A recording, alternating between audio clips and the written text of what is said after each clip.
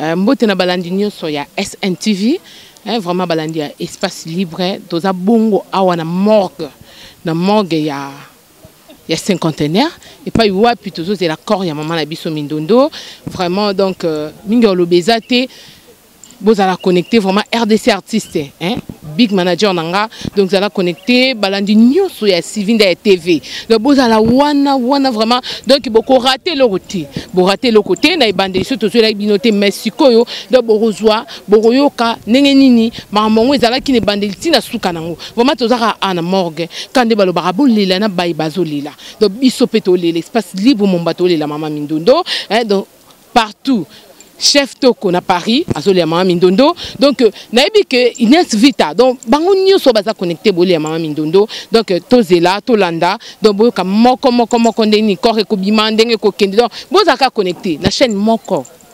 na chaîne moko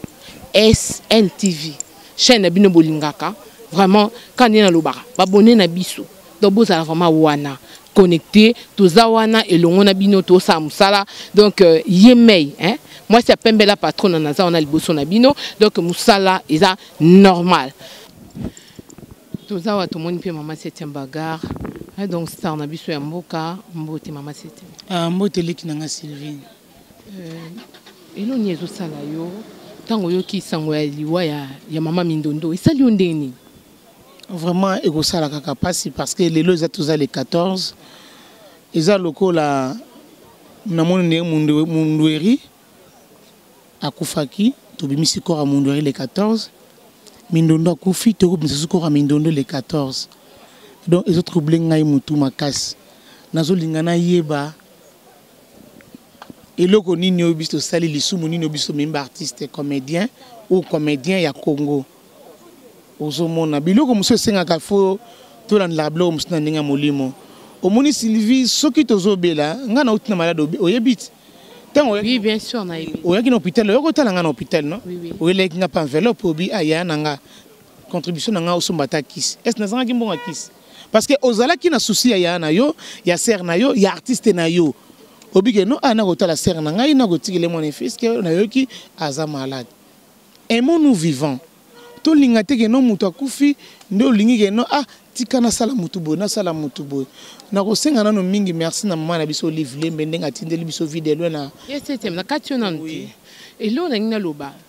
Est-ce que abelaki oyo abelaki makasi bomonaki ke leta ya kipe te ou bien boyebaki maladi moko abandaki kobela mama mindondo uh, ya solange abeli brisk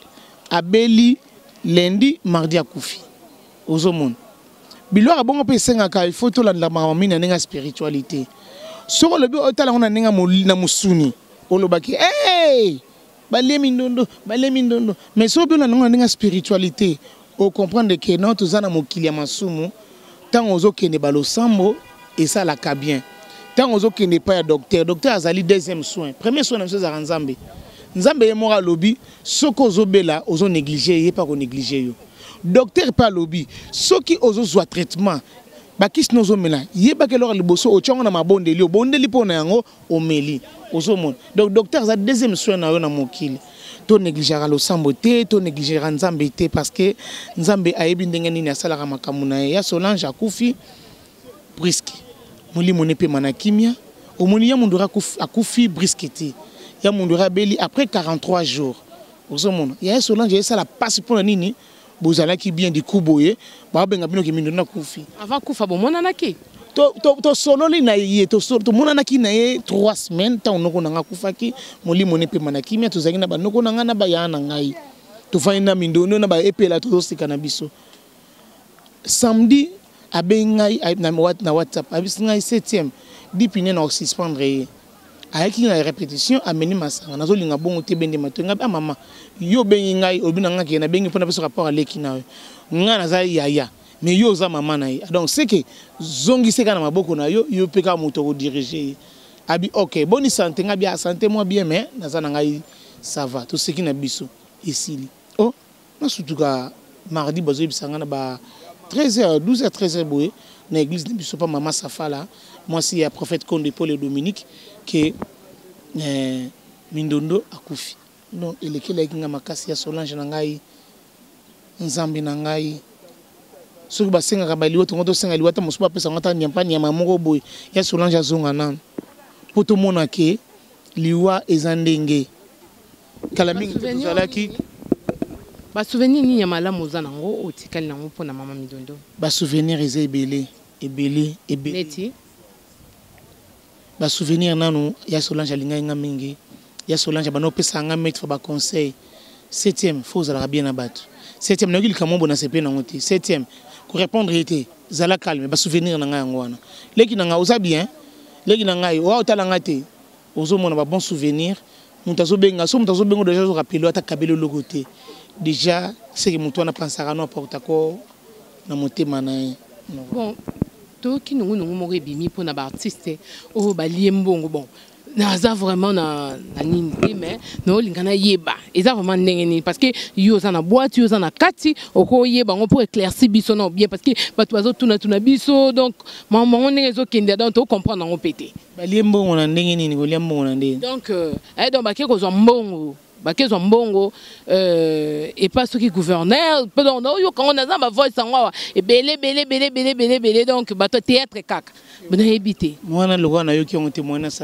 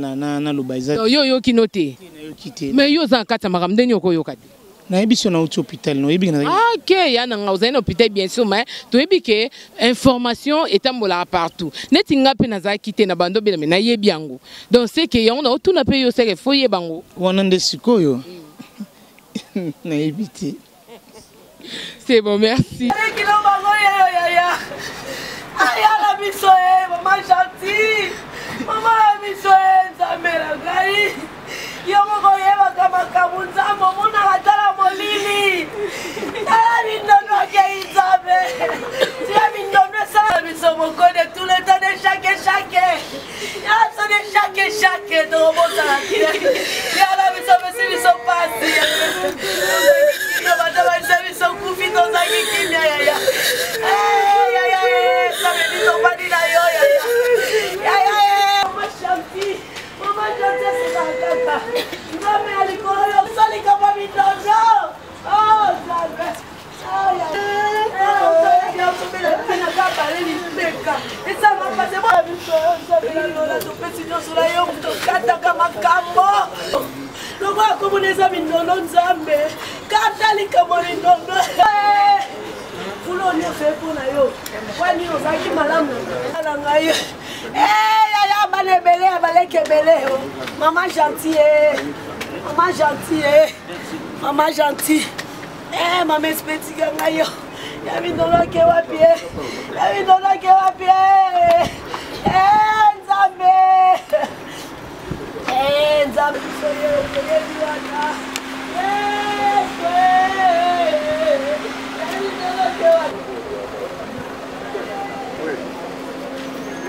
oyebaka tokomona présence no awa vraiment na kati ya 51 toyimisa kora mama mindondo eh, babone souvenir yo garda mpe na mama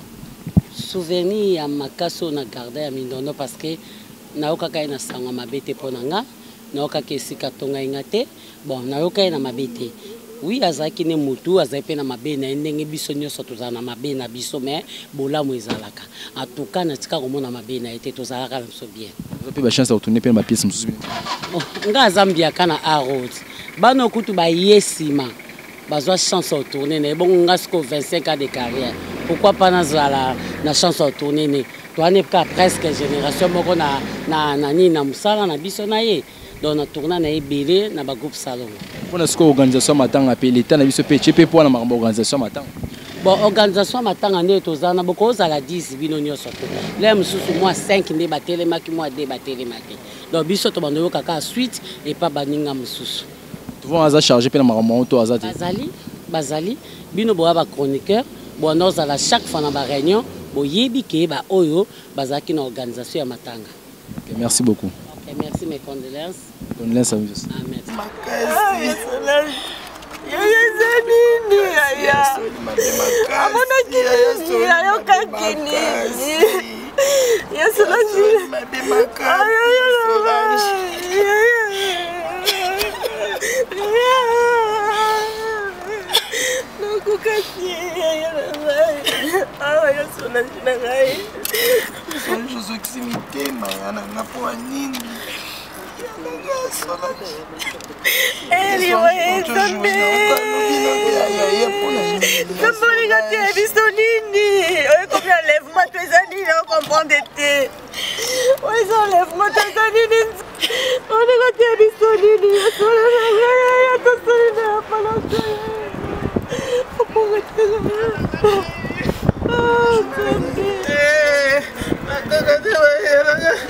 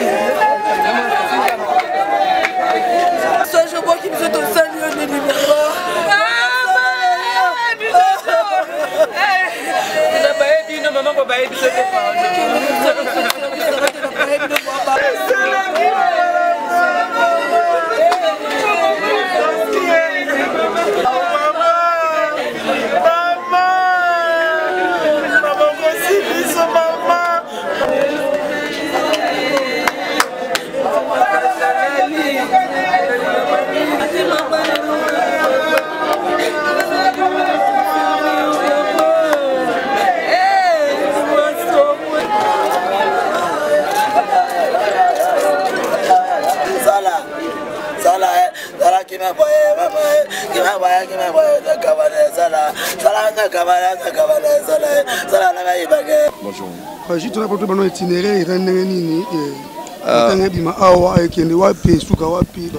Euh, itinéraire ezali tobimi awa na na morgue ya cinquantenaire tosali makolo malembe malembe rtnc uh, ah, dg ameki kosala ba honneur ya suka mpo na mindondo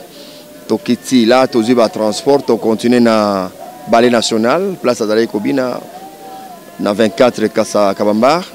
Eh, pardon kabambar euh, prince kasavubu tokomi wana mpe basali honneur na bango ya suka e toki ti lemba ntango toke tolakisi ndako na bango tozongi